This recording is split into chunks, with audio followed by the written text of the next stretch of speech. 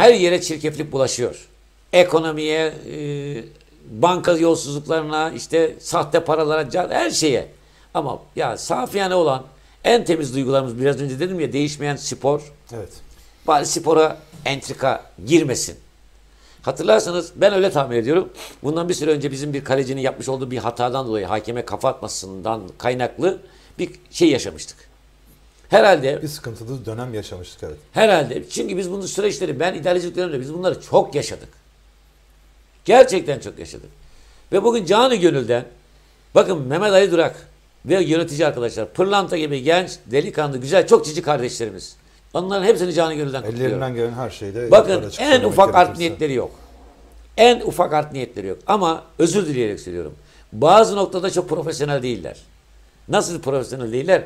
Bunlar öyle modeller ki önceden gidip görüşmen lazım işte gönlünü alman. Bu, bunlar bunu bekleyen modeller işte bu hakemler. Hani geçenlerde de bunlara bir operasyon yapıldı ya. Demek ki haklı yapılmış.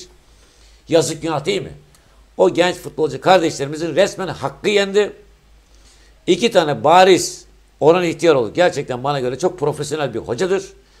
Onunla bunun sohbetini yaptık. Ben de izledim. Kesinlikle offside ile alakası olmayan bir pozisyonda offside diye Ünyespor'un iki tane golünü yediler. Ve Ünyespor'un şampiyonlukta önü kestiler. Bakın Ünyespor şampiyon olsaydı ne olacaktı?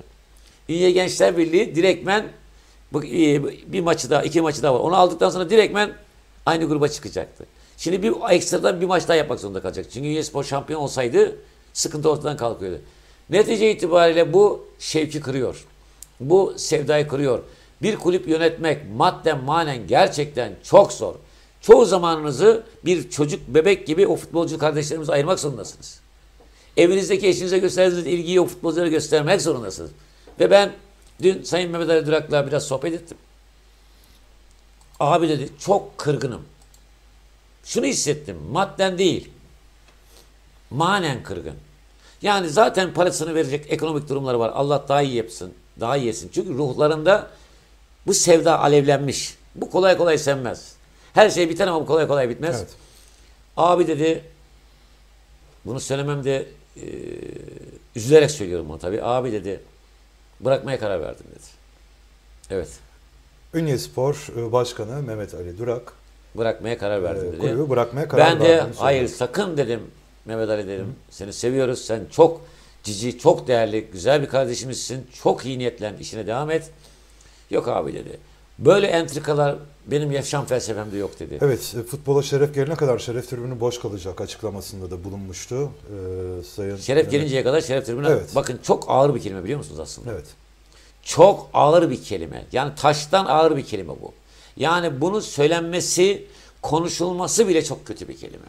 Bu yüzden keşke bu olmasaydı ama ben e, dün e, ya başkan biz seni seviyoruz. Sen çok iyi niyetlisin. Dedi ki abi ben iyi niyetliyim. Yönetici arkadaşlarım özverili ve iyi niyetli. Sizler abilerimiz olarak iyi niyetlisiniz. Bizi destekliyorsunuz. Ancak böyle entrikalar içerisinde hakkımız yenildiği zaman içimiz sızlıyor dedi.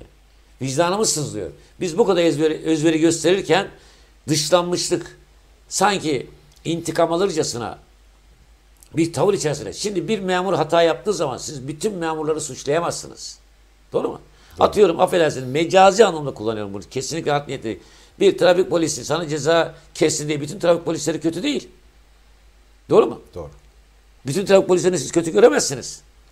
Şimdi bunun gibi siz burada bir hakeme karşı yapılan tam tasvip etmiyoruz. Yanlış. Keşke olmasaydı. Ünyespor formasına yakışmayan bir davranıştı. Ancak oldu ama bunun faturası ömrü billah devam edecek. Yani bu genç kardeşlerimiz şimdi bir transfer deyip geçmeyin. Bir kulüp başkanlığı deyip geçmeyin. Çok büyük maddiyatlar gerekiyor bu iş için.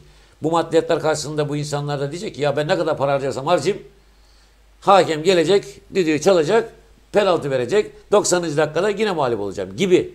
Bu edayla kimsede heyecan kalmaz.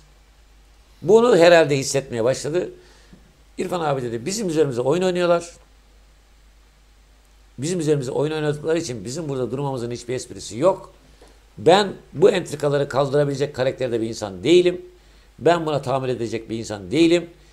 Sevenimiz kadar sevmeyenimiz de var. Yani isimler kullandı yani bölgesel anlamda ben onları şimdi burada zikretmek istemiyorum. Gönlünün çok kırıldığını gördüm. İnşallah o gönül kırgınlığının ateşi biraz söner de tekrar Bu e, ben bütün insanlardan, ünyelerden şunu rica ediyorum o zaman. Biraz psikolojik baskı yapalım. Sayın Mehmet Ali Dura mesajlar çekelim. İkna etmeye çalışalım. ikna etmeye çalışalım. E, onun ünye sporu bırakması bence çok büyük bir kayıp.